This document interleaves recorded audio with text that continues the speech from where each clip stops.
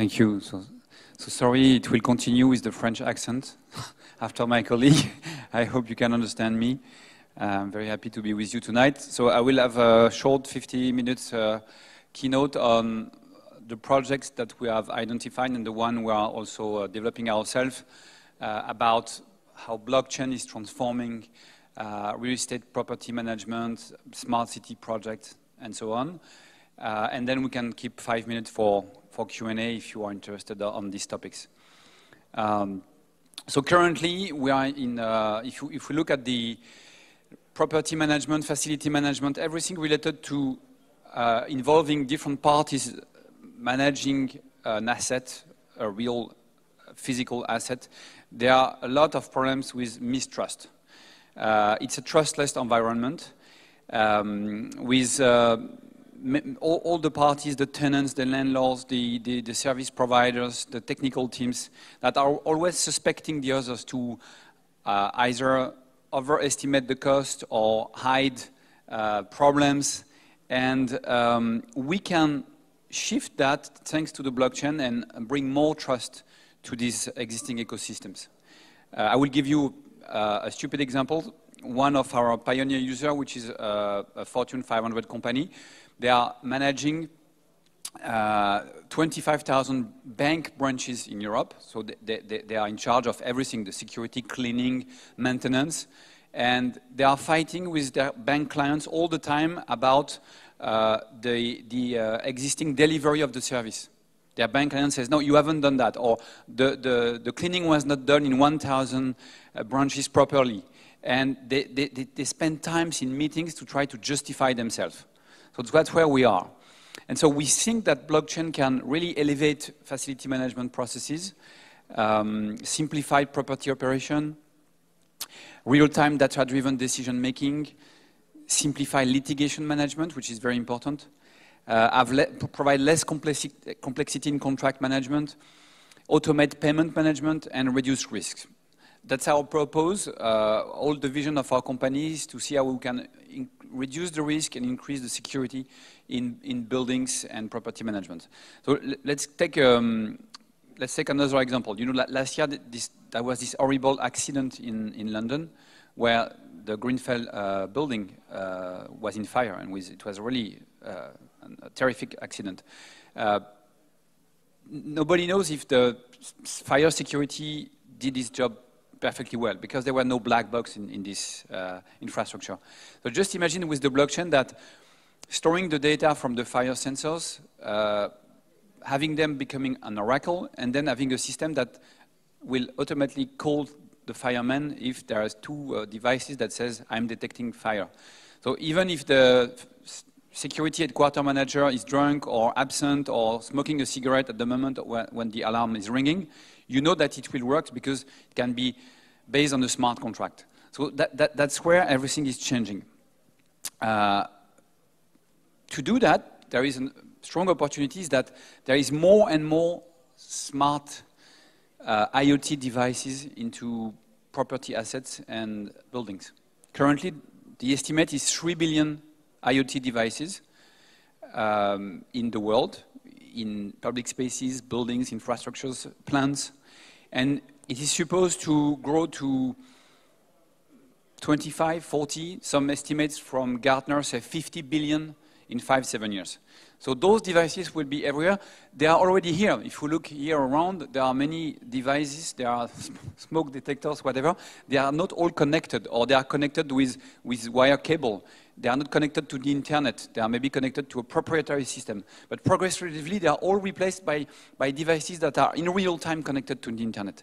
And that's, if we connect those devices with the blockchain, we can really change it. Uh, the fact is that most of them are related to security. It's intrusion, pollution, fire, water, leakage, flood uh, sensors, and, and so forth. Um, so currently, what we see uh, around in the blockchain ecosystem, we see projects that are mostly focused on, on three areas. Uh, the first generation of IoT uh, uh, blockchain project, all the projects from 2016 to 17 were focused on middleware. Uh, maybe you have heard of uh, a company called IOTA. It's not a small one. uh, or, or, you have heard about IoTeX. There, there, are a bunch of 15 to 20 uh, ICOs that have already been done in this area. What they want to do is to provide to any uh, business entities in the world a blockchain-based middleware system to manage their IoT float, their, their IoT assets. So that's what they want. Uh, they said it's better to have a decentralized systems on the blockchain than to have a proprietary systems on your own IT systems. Then came the second generation, mostly uh, I, uh, ICOs from second half of 17 and first half of this year, uh, with many projects around security. Uh, there is a very ambitious project from Israel called IIoT, which try to give a signature to any IoT device from the device to the, uh, to the information systems.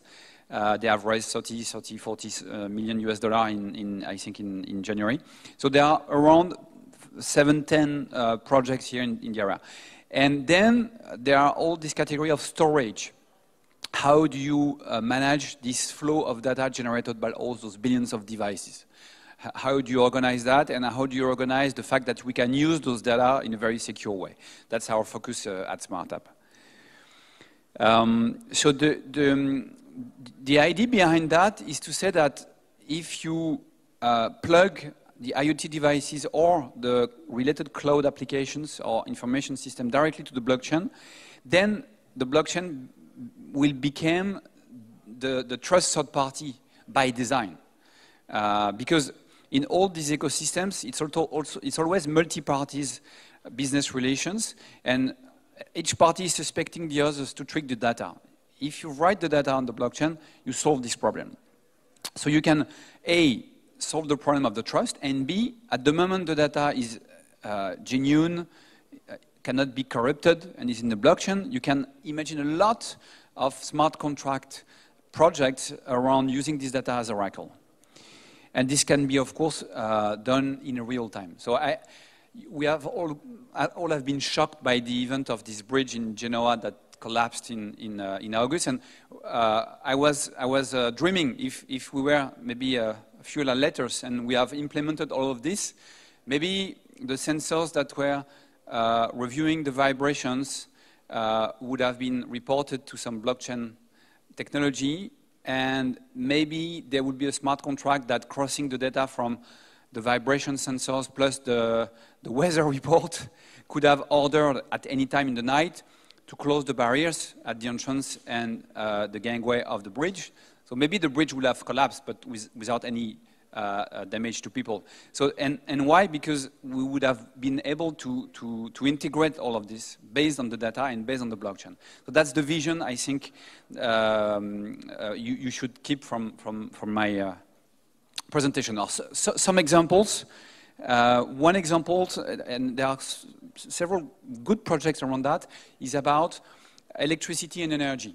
Because in, in, in, in, in all uh, real estate infrastructures, there is a topic about if we introduce self-production systems like solar panels uh, or, or, or, or, wind uh, machines, whatever, how the energy could be distributed in an area, in a building, in a district, in a city.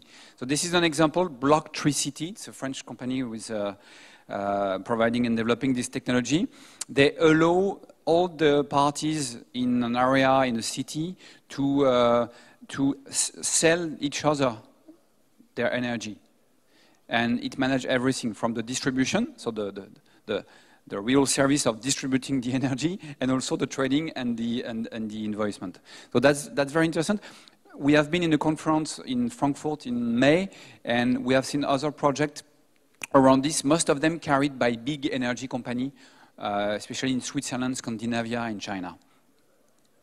Another very good example um, we are uh, reviewing is uh, uh, smart access to co-working. So this is an example from Interlieu Montréal, uh, developed by Living Lab. So the city of uh, Montreal, they have developed this system where all the lockers from all the doors of every co-working spaces, community spaces, whatever, have been replaced by smart lock so that with an app on your phone, you can have anytime access uh, 300 different working locations, co-working spaces, and they have currently 75,000 users. And of course, to, to, to, guarantee the trust on this system, because we are talking about locks, so it's entering in, a, in an office, in a building, uh, everything related to the ident identification of the users and all the transactions are notarized on the blockchain. So it's, it's mixing smart locks technology and blockchain technology, and this is real. This is not a, a project. This is not an MVP. It's uh, started end of 17, and it's now uh, a massive uh, usage. All the red dots you see are the locations that are managed by this system uh, in the Mon Montreal area in Canada. Uh, my company, SmartHab, we are developing our own technology around this called uh, the Hab, H-A-B which we call the black box for smart cities and smart buildings, uh, where the idea is to, uh, as I've said, is that we, we, we avoid that in such situation uh, there is a conflict and time loss around chasing around the responsibilities. So we want to do the same thing that what the airline companies did 50 years ago when they decided to put black boxes in planes because it was easier to avoid the litigation between who is responsible of what has happened there. Is it the airline company? Is it Boeing? Is it Airbus? Is it uh, the, uh, the, the, the, the, the, um, the, the, the, security system from the, the country where the, the flight was open? Was the, the, the pilots?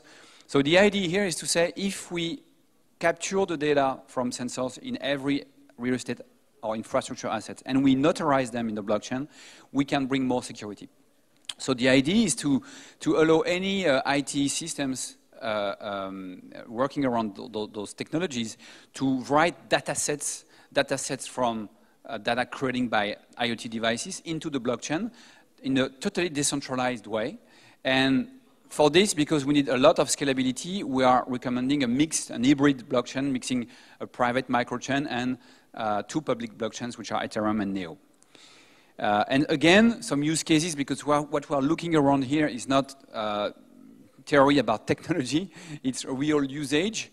Uh, at the moment you do this, you can optimize SLA management, you can optimize security systems, you can simplify litigations when there are accidents, incidents, damages, you can reduce uh, and facilitate insurance claims.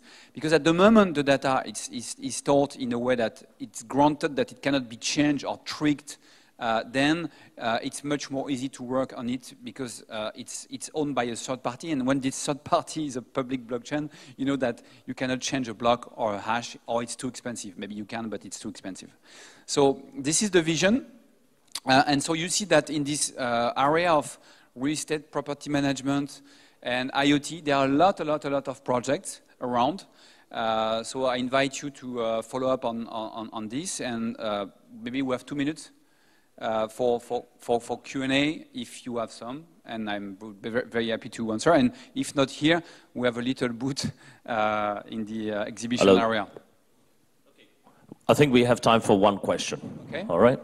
So, who would like to suggest something didn't understand something, clarification, how facility management works.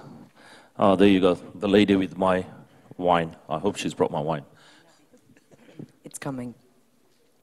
Um, so to understand clearly, SmartHab relies on IoT to be installed in the buildings as well.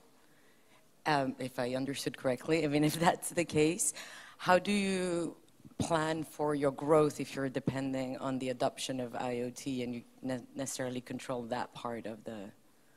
Uh, it's a good question.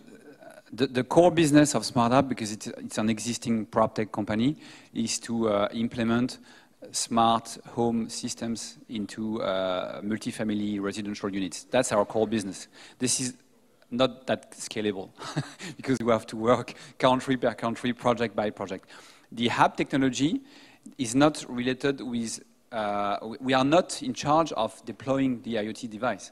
It works in conjunction with any uh, IoT information systems that already exist. So we can work with Siemens that is managing uh, heating system uh, technologies in, in 1,000 buildings in Europe. We can work with, with any vendors. We can work with, with uh, Comcast in the US. So this is pure software. Okay. Thank you. Thank you, Maria, for the question. Thank you.